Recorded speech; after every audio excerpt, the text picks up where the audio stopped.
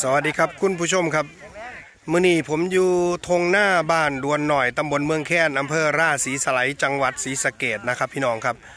มาพ่อชาวบ้านดวนหน่อยเพิ่นเก็บกู้หอมแดงนะครับ แล้วเพิ่นก็กำลังขนขึ้นรถนะครับ พี่น้องครับเดี๋ยวผมสิพาทุกท่านนะครับ ไปชมบรรยากาศของการขนขนหอมแดงขึ้นรถนะครับเพิ่นจะเอาหอมแดงขึ้นรถเพื่อไปเข่าตาช่างช่างนะครับแล้วก็เอาไปขึ้นสางนะครับ คุณผู้ชมครับเดี๋ยวไปชมบรรยากาศกันเลยนะครับ